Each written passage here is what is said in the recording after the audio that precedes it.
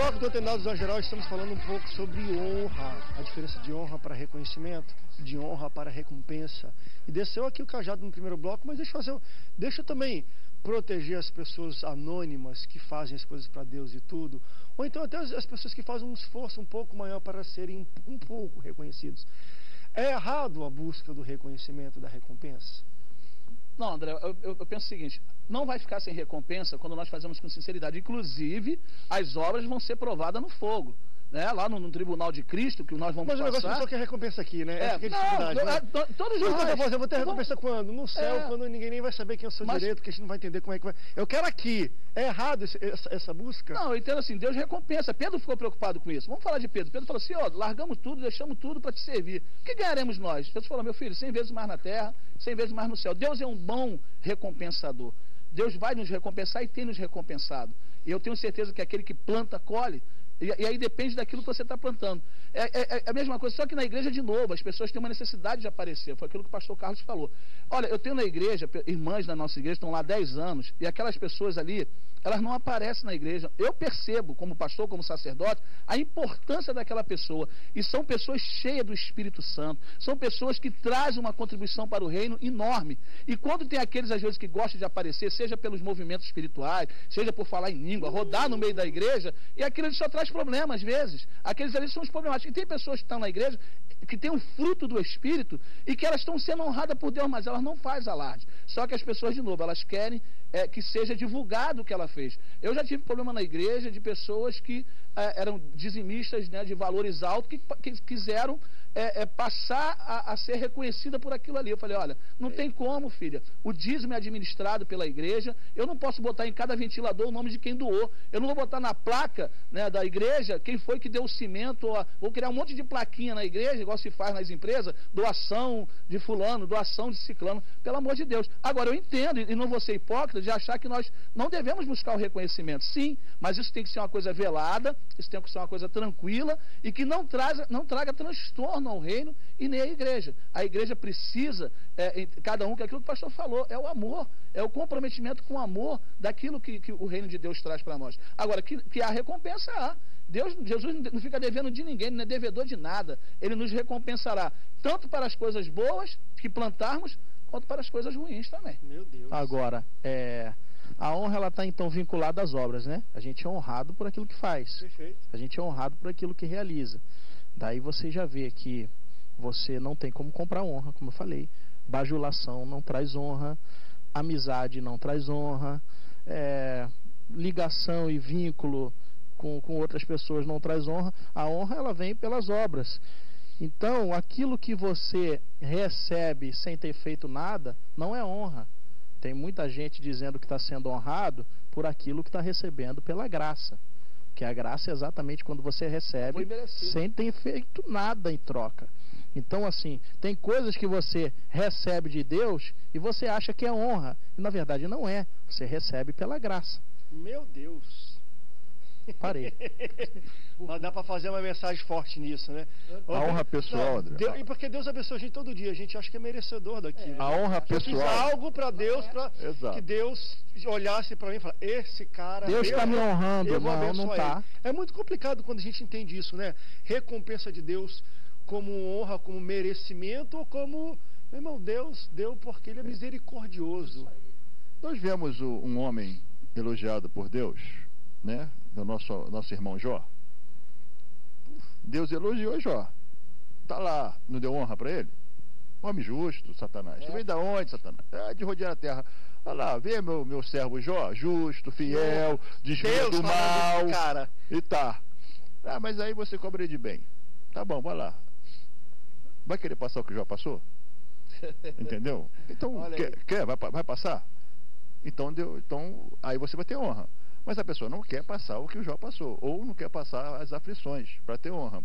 Então, o, o, a honra pessoal ela está diretamente ligada em quem honra Deus. Eu não posso estar na igreja buscando honra no sentido de daquela coisa me saciar, tá me entendendo? Não.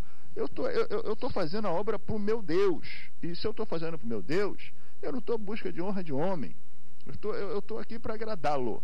Se eu estou aqui para agradá-lo no tempo certo, como Sidney falou, como meus, meus amados pastores estão aqui né, comungando, comungando com, a minha, com a minha visão, no tempo certo Deus vai te exaltar. Aconteceu isso com, com Esdra. Esdra, ele honrou Deus e Deus o honrou e vários outros. Caleb? Exatamente. Caleb, então, 40, eu não tenho que estar preocupado lá, em buscar, eu acho, na minha concepção, eu não tenho que estar preocupado em buscar reconhecimento, se eu estou fazendo de todo o meu coração para Deus.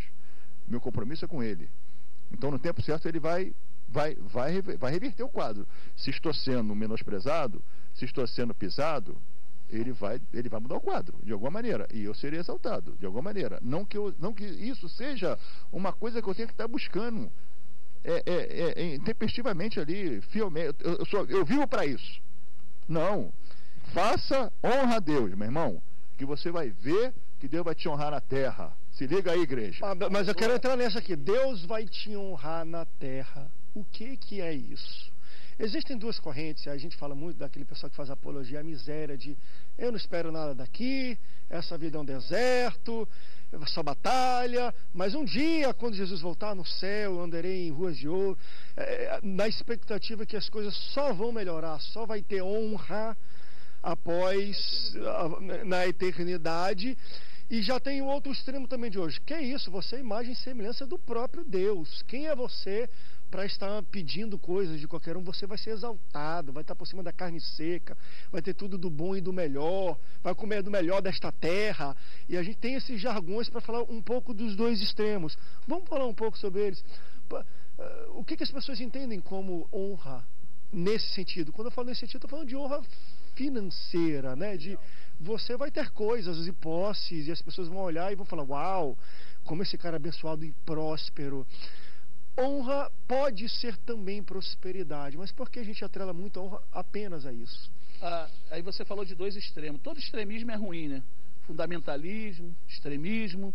É aquilo que você falou, tem gente que, poxa, eu estou na miséria, eu estou passando necessidade. E essa vida é isso mesmo, não Mas Jesus nada. disse: no mundo tereis aflições. E aí a pessoa se exalta naquilo que ela está passando por miséria. Aí você tem o outro extremo. Não, meu irmão, porque tu ela se exalta naquilo é. que ela passa por miséria. Perfeitamente. Isso, às vezes é exaltação até na miséria. Exato. Tá o cara é soberbo da miséria. Porque é, prova, é porque eu sou, é, eu sou prova, é santo, é Deus. E, e Pedro Pedro sofreu, e Paulo, Paulo, morreu, foi, levou açoite. Ele se esquece que alguns plantam para outros colherem. O que eles passaram, tem gente que está passando aí na igreja perseguida. Só que assim, a questão é extremismo. Todo extremismo é ruim. O evangelho ele é temperado, o evangelho é bom senso. O que, que é prosperidade? Né, essa frase não é minha, mas eu já ouvi isso. É ausência de necessidade. Se você comeu, tomou café da manhã, almoçou, tem uma roupa, isso é, isso é prosperidade, isso é ser próximo. Não é morar na barra, não é ter um carro importado. Né? Isso aí são utopias que acham que o evangelho vai trazer isso para todo mundo. É, alguns pregadores, aí vem a teologia da prosperidade. E dizer que isso é, é honra é isso. é vender muito barato honra, né? Isso, honra não é, tem, é muito barato dizer que honra é um carro importado. Então, honra é muito mais então, do que isso. Aí são os extremismos. Então, eu penso assim, nós temos que viver no meio, no bom senso. E, e, e a questão da, da prosperidade, é, nós temos que viver, não podemos viver uma vida de miséria. Cristão, o, o, o salmista diz: Fui moço, hoje sou velho, mas nunca vi um justo nem a sua descendência mendigar o pão. O cristão pode chegar na igreja passando, a pessoa pode chegar no evangelho com necessidade, mas ela tem que prosperar. E qual, é a prosperidade? De novo, é ter uma boa alimentação, é ter uma boa casa, é usar uma boa roupa, não precisa ser de marca importada. Só que, de novo, esses extremismos que nós vemos hoje. E confunde, de novo, questão financeira com honra. Quer ver uma coisa? Quando, Davi, quando Saul morreu, Jonatas morreu na batalha, é, Davi não se preocupou em, em assumir o trono. Davi não correu para pegar a honra que era dele. Davi simplesmente foi prantear, ele foi chorar, porque ele amava a Saul, ele amava Jonatas. E a Bíblia diz que, que Deus primeiro mandou, ele foi consultar Deus e Deus mandou ele ir para Hebron. Deus falou: Tu vai instituir o teu reino lá em Hebron. E Hebron não era a cidade principal. Hebron, e quem apoiou Davi foi a tribo de Judá, que era uma tribo real. Deus colocou primeiro Davi em Hebron, honrou ele em Hebron, para depois ele ir para Jerusalém. Depois que as tribos vieram e ele foi reconhecido por toda a nação de Israel. Aquilo que o pastor falou. Meu filho, você que está na portaria está sendo honrado. Você que está lavando o banheiro está sendo honrado. Você que está varrendo a igreja está sendo honrado. Só que muitos não querem passar pela portaria, pelo banheiro, querem ir direto para a tribuna. Muitos não querem passar por Hebron, querem ir direto para Jerusalém. Meu filho, tem que passar pelo trâmite, tem que passar por aquele período de provação. O único que nasceu grande e fracassou foi Adão. Adão já nasceu grande e mesmo assim fracassou. Então eu penso o seguinte: a honra se dá pela caminhada, por aquilo que você faz diante dos homens de Deus. Deus não vai te exaltar da noite para o dia. Isso, é, isso aí é conversa fiada. Nem financeiramente, perdão, e, e, e, nem na questão ministerial. Só que as pessoas querem o seguinte: aceita Jesus num, ano, no outro ano já é pastor. Tem um monte de igreja fazendo isso. Aceita Jesus, não passa por um discipulado, não passa por um treinamento ministerial e já quer ser pastor. Se o pastor não honrar ele como, como evangelista, presbítero ou pastor, sabe o que ele faz? Ele sai da sua igreja, porque o outro pastor, não, vem para cá que eu te consagro. E acontece, Rapaz, e acontece. não acontece? Você já está aí um ano como diácono, um ano como diácono. Não, isso é muito tempo. Vem para cá que você já é um evangelista. Aqui eu, nós honramos. É, nós honramos. Você vai sentar aqui no púlpito, isso. porque lá você senta lá embaixo. É isso. E aí volta lá o cara. Aí esquece daquela pergunta que Paulo faz, né? Todos são profetas, todos são apóstolos, todos são mestres. Aí se esquece, isso apaga da Bíblia. Meu irmão, nem todo mundo vai ser pastor, nem todo mundo vai ser mestre, nem todo mundo vai ser profeta. Não tem jeito, nem todo mundo vai ser rico. Nem todo mundo vai ser milionário. Pastor Carlos, eu fui numa igreja, não tem, que começaram a apresentar o um ministério, 80% da igreja pertencia ao ministério. Missionária tal, presbítero tal, é. evangelista tal, diácono tal. Eu falei, caramba, a igreja toda é ministerial, que benção. Não? Então não sei o que, que é isso aqui. Todo mundo é ministerial. Ou seja, estão comprando a pessoa ali com cargo.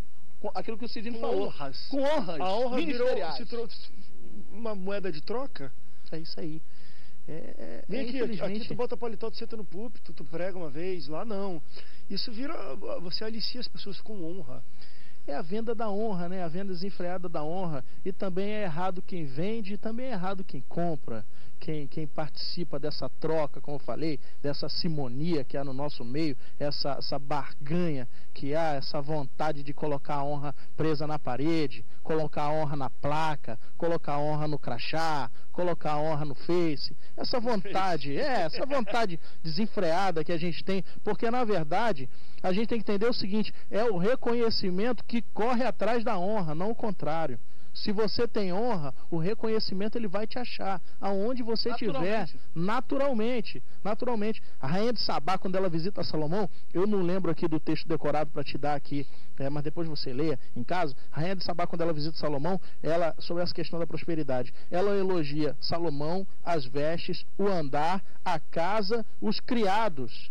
Mas o, o cidadão, quando ele ora, ele quer ser o Salomão. Essa é a visão dele de prosperidade. A visão dele de prosperidade não chega, não alcança aquilo que o pastor Silas falou, da ausência de necessidade. É essa coisa que, que a igreja tem de é, a, a minha visão pessoal de inferno, ela é sempre diferente do que é o inferno dos outros, sabe? Então aquilo que de repente é, é miséria para você, aquilo ali de repente sustenta cinco famílias e você não sabe. Você não sabe que aquilo que você está mal agradecido, chamando de, de miséria, Deus usa outras cinco famílias que são, sustentadas com aquilo, com, aquelas, com aqueles reais que você recebe. Então, sabe, é, é uma, uma natureza também de uma igreja mal agradecida. Uma igreja que não entende. O, no Brasil não tem muito essa coisa da igreja perseguida. A história da igreja perseguida chega aqui, mas não, não tem muito aqui dentro. Essa coisa da igreja perseguida. Então as pessoas não vivem essa realidade para entender isso. Só conseguem observar isso quando vê um cartaz, quando recebe uma revista ou quando vê um e-mail de algo que acontece lá fora. Porque se vivesse essa realidade, aí você ia entender que só o fato de você ter um espaço para adorar a Deus já é dupla honra na tua vida. Meu Deus. Vamos para um rápido break? Daqui a pouco a gente volta para falar um pouco sobre o princípio da honra. É errado a gente honrar o nosso pastor, e agora estou falando financeiramente, porque isso é uma dificuldade tão grande dentro das igrejas. Ah, todo mundo fala, nossa, eu quero o melhor para o meu pastor, eu quero tudo de bom. Ah, ele vem com roupa nova, ó deixa eu falar um pouco das mulheres, que gostam também de falar. A mulher vem com uma bolsa nova. Hum, e a mulher com uma bolsa, pastor, já está pegando dinheiro para comprar bolsa para a esposa. Por que, que a gente fala que a gente honra, que a gente ama, que a gente quer o melhor pastor? E quando alguma coisa de bênção acontece para ele, a gente fala mal, a gente fala que é nosso dinheiro, que é da igreja, não é ele que Deus colocou ali para gerir as coisas. Vamos para o break, daqui a pouco a gente volta. Depois eu desço a cajadada em você no próximo bloco. Não sai daí.